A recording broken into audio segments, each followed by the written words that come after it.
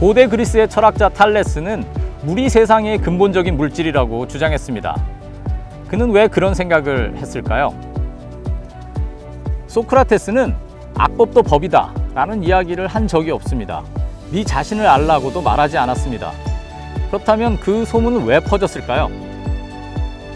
서양 철학 산책은 우리가 어디선가 들어본 적이 있는 서양의 철학자와 그들의 사상에 대해서 좀 더 자세히 알아보는 수업입니다. 이 수업을 통해서 여러분은 서양 철학이 어떤 흐름과 맥락을 가지고 전개되어 왔는지를 아실 수 있을 것입니다. 여러분들 요즘 외국에 많이 가시죠? 유럽이나 미국에 가셨을 때 굉장히 커다란 미술관 앞에서 많이 망설이셨을 것입니다. 이 표를 사서 미술관을 들어가자니 사실 지금 시간도 별로 없고 아는 것도 많지 않고 그리고 이 넓은 미술관을 한나절 이상 돌아다닌다는 것이 정말 그 앞에서 내리기 쉽지 않은 결정입니다. 저도 똑같았습니다. 그런데 뒤늦게 미술관, 미술을 공부하면서 지금은 일부러 미술관을 찾아다니는 미술관 마니아가 되었습니다. 지금 세상은 아주 큰 변화를 맞이하고 있습니다. 과거에는 개발자가 알고리즘을 생각하고 그것을 코드로 옮겨서 일을 진행했습니다. 그렇게 해서 컴퓨터가 일을 하죠. 하지만 이제는 컴퓨터가 스스로 코드를 만들어 인간이 풀지 못한 수많은 문제들을 해결하고 있습니다. 이런 놀라운 변화를 관통하는 키워드가 바로 기계학습입니다.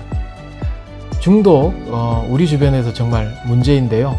어, 중독에 대해서 어, 깊이 있게 그리고 재미있게 예, 공부해보는 어, 그런 과목이 되겠습니다. 어, 중독의 심리학에서는요, 중독이란 무엇인가를 살펴보고요. 어, 그 중독에 포함되는 약물과 관련된 중독과 행동과 관련된 중독을 공부해 보도록 하겠습니다. 그리고 후반부에는 이분들을 어떻게 도울 수 있는가 살펴보고요. 어떤 대화의 방법들이 효과적인지를 공부해 보도록 하겠습니다. 통일 한국의 준비와 조망 강좌는 우리 시대의 시대적 사명이라고 할 수 있는 통일 문제를 다양한 학문 분야의 영역에서 고찰해보는 강좌입니다. 법을 전공한 저뿐만 아니라 과학기술, 상담, 정치, 철학 등 다양한 전공 분야의 교수님들의 팀 티칭을 통하여 북한과 통일 문제에 대해서 살펴보는 수업입니다. 파이썬 언어는 초보자부터 전문가까지 전 세계에서 가장 많이 사용되는 프로그래밍 언어 중에 하나입니다. 어, 파이썬은 직관적인 문법으로 구성되어서 배우기가 쉽고 다양한 인터페이스를 제공하여서 확장성이 높습니다. 자, 그럼 저와 함께 변화의 거대한 물결 속으로 뛰어들어 보시죠. 세계 10대 미술관 여행 중독의 심리학에서 여러분들을 뵙게 되기를 고대합니다.